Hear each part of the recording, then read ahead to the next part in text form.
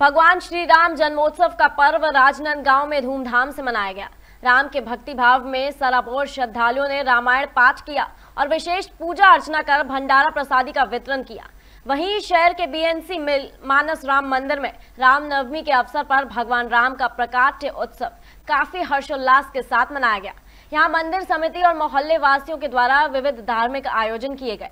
भगवान राम के जन्मोत्सव पर मानस राम मंदिर में प्रभु राम के दर्शन को श्रद्धालुओं का तांता लगा रहा। राजनांदगांव से निमेश अग्रवाल की रिपोर्ट।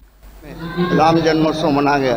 यह मंदिर पीएनसी मिल राजनांदगांव का मंदिर है और शहर का एकमात्र मंदिर है, जो इतने उल्लास के साथ में सारी जनता आती है और भजनों के साथ में इसका राम राम जन्मोत्सव मनाया गया है। जिसमें अभी प्राकट्य उत्सव मनाया गया। उसके बाद में प्रसादी वितरण हो रहा है। उसके बाद में खीर पूरी प्रसाद का भंडारा होगा।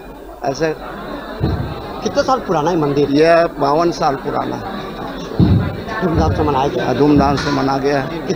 हम लोग तो जब से शादी हुई है, तेईस साल हुआ है हमारी शादी को, तब से आ रहे हैं और इतने ही धूमधाम से हम लोग मनाते आए हैं और बहुत ही अच्छा यहाँ पे हर त्यौहार बहुत अच्छे से मनाया जाता है और राम जन्मोत्सव तो आज बहुत ही हम लोगों ने आनंद लिए और आज राम जी का जन्म उत्सव मनाया, उसके लिए हमें बहुत मज़ा आया और बहुत ही अच्छे से, उत्साह से हमने इसको पूरा वार्ड वासियों द्वारा मिलके बहुत ही अच्छा उत्साहवर्धन किया है और जितना हो सका है, हर साल हमने आने का प्रयास किया है।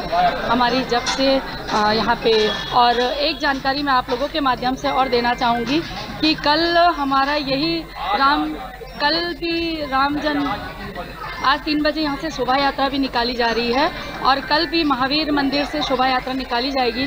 तो मैं सभी से, आप सभी के माध्यम से ये एक अपील कर रही हूँ कि सभी ज़्यादा से ज़्यादा उपस्थित होवे और कार्यक्रम को एकदम सफल बनाने की कोशिश करें।